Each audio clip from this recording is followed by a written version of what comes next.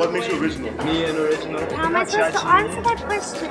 The key to being an individual is if you've been given an opportunity to express your individuality, it's to help others express theirs. I think I believe in myself. Nobody can be better you than you.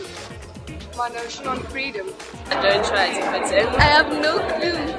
Free spirited. I don't compare myself to other people, so it's easier for me to be a She is very, very sensitive. Being very understanding. I have, at an early age, I have understood clearly what it is I have to do.